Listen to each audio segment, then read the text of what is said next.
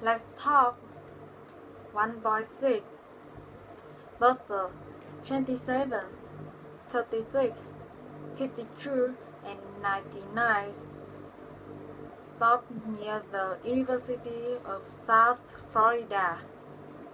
Do any of those stop beaches? Stop near beaches? Let's see. No, they don't. Then you'll have to transfer. Bus 11 and 87 stop on beaches.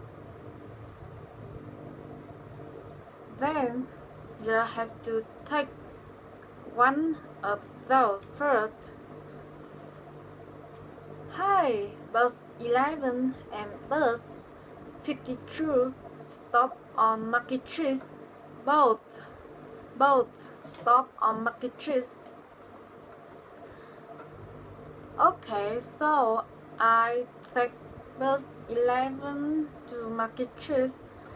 Then I transfer to bus 52. It take me to the school. Right, that sounds easy.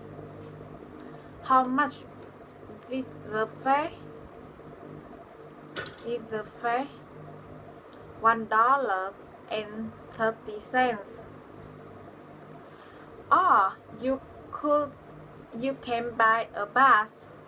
I have one bus Let me write twenty times.